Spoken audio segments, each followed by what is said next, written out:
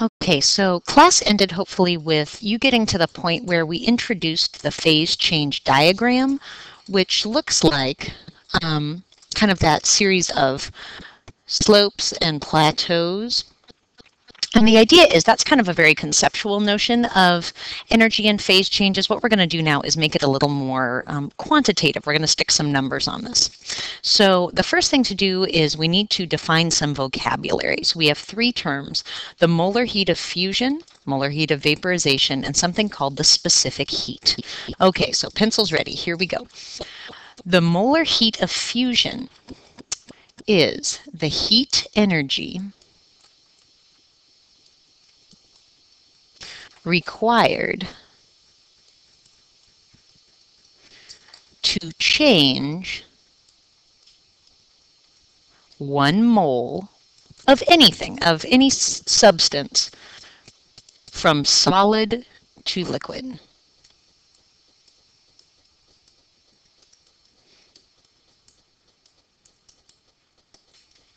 And what you'll find here is that when we're talking about this going back and forth, we're really talking about the process of going from solid to liquid or from liquid to solid. And what you'll find is that the molar heat of fusion going one way will be positive, and then for the reverse process, the number would just be negative.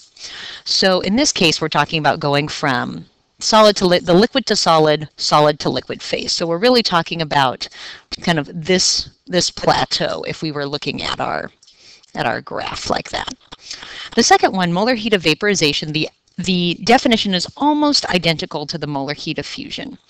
We're talking about the heat energy, and I'm just going to put dot, dot, dot. It's the same as what it is up here, except to change one mole of anything from, again, it's vaporization, so we're talking about from a liquid to a gas.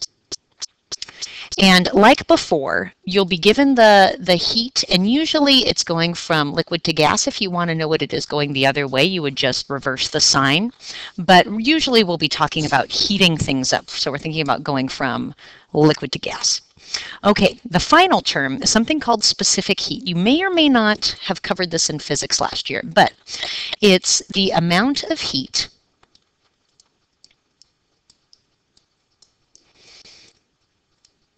the amount of heat energy to raise the temperature, the amount of heat energy to raise the temperature of one gram of a substance by one degree Celsius. So the amount of heat energy to raise the temperature of one gram of a substance by one degree Celsius. And what that means is that the easier it is to change the temperature of a substance, the lower its specific heat. So things like metals, um, you know, aluminum pans and copper bottomed cookware and things like that. They have a really low specific heat because it's really easy to heat those things up and cool them off. On the other end, there are things like water, and water has a really high specific heat. It takes a lot of energy to change the temperature of water. So that's what we're talking about when we talk about specific heat. Okay, on to the next part. Hopefully, again, this picture is starting to seem very, very happy and familiar. What we're going to do is apply these vocabulary terms to this picture and specifically introduce some equations and when to use them. So there are two situations that you're going to be facing in these calculations. The first one, and I'll kind of do one on top of the picture and one on the bottom. The first situation is raising, or I should say changing, the temperature, not the phase. So in other words, we're heating or cooling water, we're heating or cooling a gas, we're heating and cooling a solid, but we're not changing from liquid to solid or solid to liquid. So that's kind of situation one, changing the temperature, not the phase. On the other end, on the bottom here, we'll look at changing the phase, but not the temperature.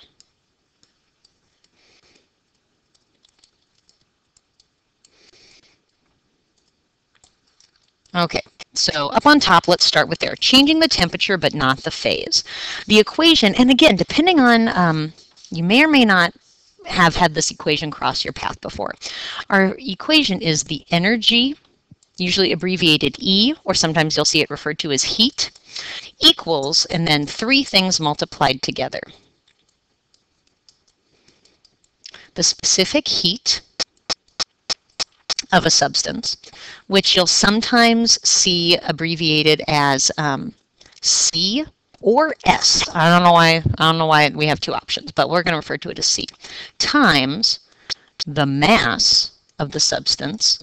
In other words, how much you have, and we'll refer to that as M times the change in temperature delta T. So what you're talking about then is the energy it takes to change something is dependent on three factors. How big it is. It takes more energy, right, to change the heat of a swimming pool than it does to change the heat of a cup of water. How much you want to change it. Are you changing it by a small amount or are you trying to change it by a really large um, temperature difference? And then the specific heat. How much does it take for this specific substance to change temperature? This equation gets applied anywhere we're changing the temperature, but not the phase. So we're going to be talking about that here, when we're heating things here, when we're heating things here, when we're heating things here. I call this um, the slope equation, not because it's y equals mx plus b, but because this is the equation that we use when we're on the slope of this phase change, not when we're on the plateau. So again, you'll see that abbreviated E equals C M delta T. And very often you'll be solving algebraically. We'll give you maybe three of these four variables. You got one, two, three, four variables. We'll give you three of them and ask you to solve for the fourth one. Okay, so let's pop down then to when we're changing phase but not changing temperature. So now I call these, this is the plateau. Plateau equation. So these are the equations that we're going to use on the flat parts of the graph. Okay, so and then we're bringing in some of that vocabulary again. So when we're changing phases, we're going to look at going from solid to liquid, and then we're going to look at going from liquid to gas back and forth, back and forth. So for the solid to liquid part, the energy is equal to the moles of a substance, not mass, but moles. The moles of a substance, which is conveniently abbreviated MOL, they save you so much time taking off the E and the S, times the molar heat of fusion times the molar heat of fusion. And if we click back over to that previous page, we'll see that the molar heat of fusion is what we're thinking about when we're going from a solid to a liquid. So that makes sense that this is where that phrase would show up. And because it's molar heat, that's one of the reasons that we need to be in moles of a substance rather than in grams. Okay, so very often you'll see this measured in kilojoules or joules. I've seen it can it can go either way, but be prepared that you'll be working in kilojoules. Okay, so for this one, so that's the solid to liquid. The liquid to gas is going to look almost identical. So we have our energy equals moles of a substance, which will probably mean that you might be doing a T-chart. If you're given grams, that's a T-chart conversion to get into moles. And then instead of the molar heat of fusion, we're going to be looking at the molar heat of vaporization.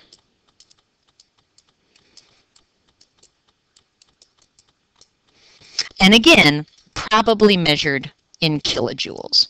You might also see it in joules, but that's usually what you'll see. So again, I mentioned that this is the plateau equation. So that's where they're going to show up. This one here, you're going to see in the solid to liquid equation.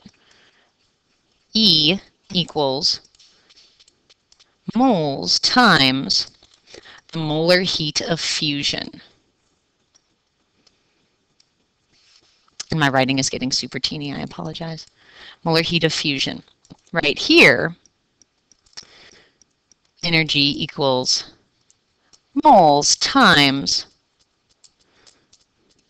the molar heat of vaporization.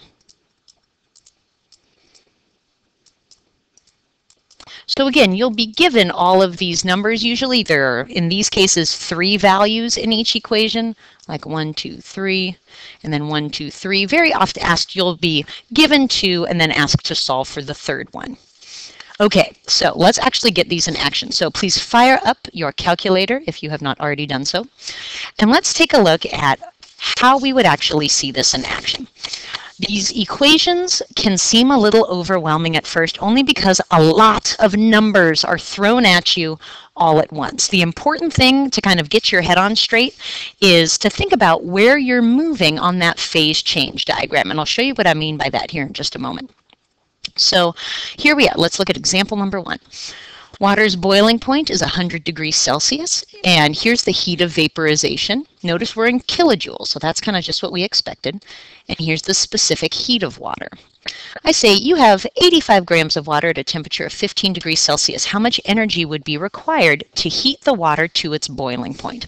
Okay, so here's what I mean by looking at and thinking about the phase change diagram to kind of get your head on straight. So let's, I'm just kind of going to sketch that phase change diagram picture. And we're going to use that to help us know which equations to use. So if you remember, kind of this is going solid to liquid, this is going liquid to gas. And we need to think about where we're moving on this graph in order to know what equations to use. So I'm told I have 85 grams of water. Okay, so I'm I know I'm in the water portion, which is going to be right here. This is the liquid portion at 15 degrees Celsius. So I'm just eyeballing this roughly, but just to get an idea of what we're doing. Um, how much energy will be required to heat the water to its boiling point? Okay, well, I'm told the boiling point is right up there. So I'm going up here. The boiling point is where we transition from liquid to gas. I'm on the slope, which means I'm going to use the slope equation. And if we click back over here, that slope equation, there it is, right there. E equals cm delta t. We'll just write it up here to jog our memory. And then the next thing, again, all you said about doing is tossing in the variables that you need and solving for what you need to solve for. The question is asking for energy. We'll be solving for E. So here we go. E equals the specific heat. I know that because I'm told that right up there. So I have 4.186. And this fabulous unit is joules per gram degrees Celsius. It's the energy in joules required to heat one gram, one degree Celsius. So that's why there's that kind of funky unit in there. Times the mass of water. Okay, so we're told we have 85.0 grams times delta T, or a change in temperature. So that's going to be 100.0 minus 15.0 Celsius. And it's just a matter of kind of plugging the numbers through and seeing what you get. So when you multiply all those out, go ahead, do that now. See if you get the same answer as me. We do 4.186 times 85 times 100 minus 15, taking that difference. And we get, let's see,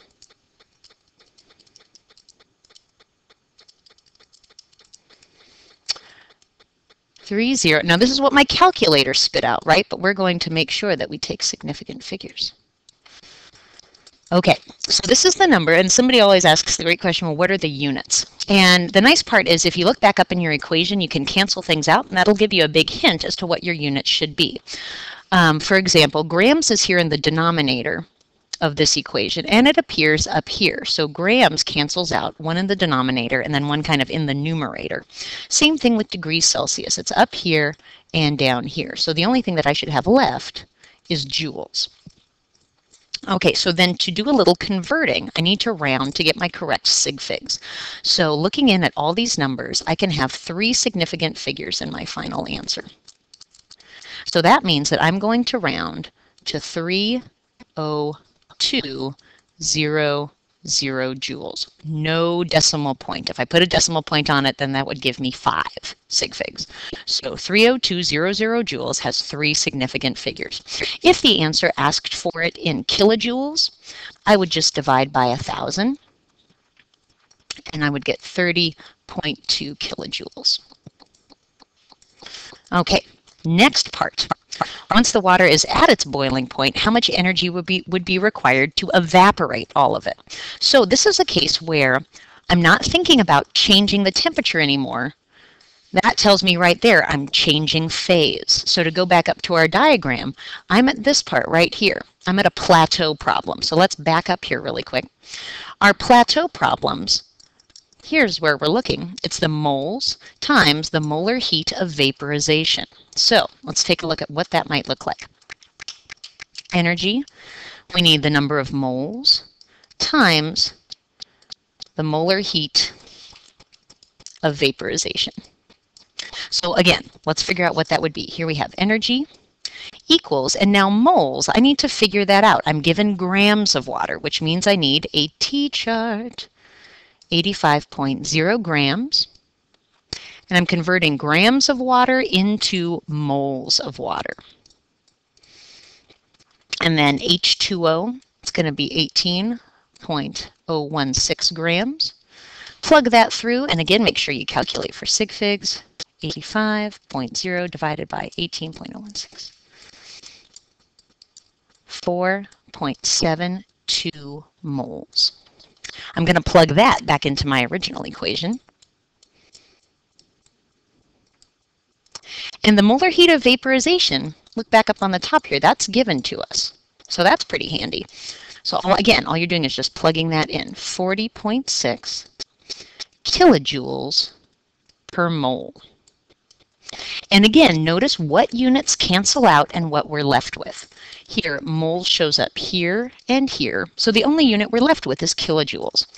Energy should always be factored in as joules or kilojoules. If you get something other than that, something has gone terribly wrong. Okay, so 4.72 times 40.6, my calculator spits out 191.632, but I'm going to round for sig figs. I can keep 3, which means my final answer is going to be 192 kilojoules. Okay, so with that, there's one more to try. Kind of the final part of your homework is trying the next problem on your own, and then um, that will be checked as soon as you come to class next time. All right.